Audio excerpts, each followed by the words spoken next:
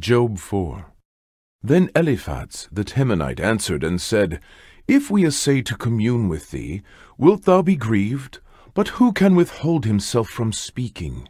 Behold, thou hast instructed many, and thou hast strengthened the weak hands. Thy words have upholden him that was falling, and thou hast strengthened the feeble knees.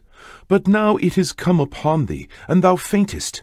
It toucheth thee, and thou art troubled. Is not this thy fear, thy confidence, thy hope, and the uprightness of thy ways? Remember, I pray thee, who ever perished, being innocent, or where were the righteous cut off? Even as I have seen, they that plough iniquity, and sow wickedness, reap the same.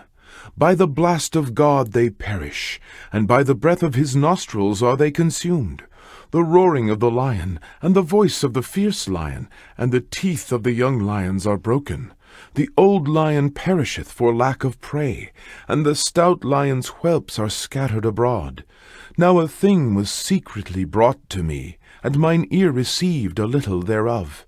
In the thoughts from the visions of the night, when deep sleep falleth on men, fear came upon me, and trembling, which made all my bones to shake. Then a spirit passed before my face, the hair of my flesh stood up. It stood still, but I could not discern the form thereof. An image was before mine eyes.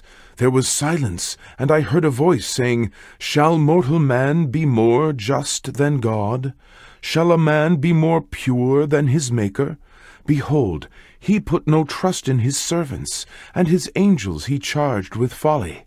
How much less in them that dwell in houses of clay, whose foundation is in the dust, which are crushed before the moth. They are destroyed from morning to evening. They perish for ever without any regarding it. Doth not their excellency which is in them go away? They die, even without wisdom.